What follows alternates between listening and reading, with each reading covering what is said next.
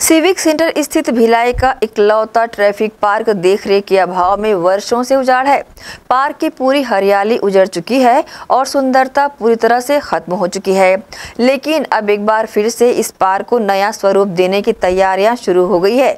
इस पार्क को पूरी तरह से रेनोवेट करने के बाद यहाँ कलाकारों के लिए रंगमंच व नुक्कड़ नाटक आदि आयोजनों के लिए ओपन मंच बनाया जाएगा।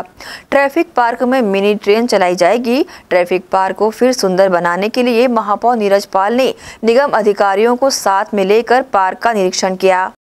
ये ऐसी इसी ट्रैफ़िक पार्क के विकास के लिए हमने दिया था और उस समय इसको, उसके बाद से इसको ट्रैफ़िक पार्क का नाम दिया गया।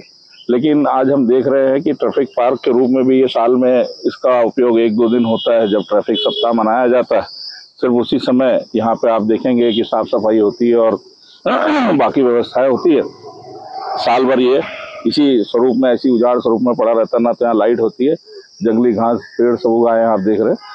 जैसा आप अभी देखते हैं, रथ पार्क को हमने डेवलप किया है, उसी तरह पे अब इसका भी विकास आप देख पाएँगे। आज हमारे नगर निगम के आयुक्त, हमारे जोन पाँच के सभी अधिकारी के साथ मैंने यहाँ दौरा किया है और यहाँ पे इसकी एक कार्य योजना बनाकर, इसकी ड्राइंग डिज़ाइन बनाकर, इसके बारे में एक अच्छा प्लान बनाकर बहुत जल्द हम इसका काम शुरू करेंगे और भिलाई के लोगों को एक और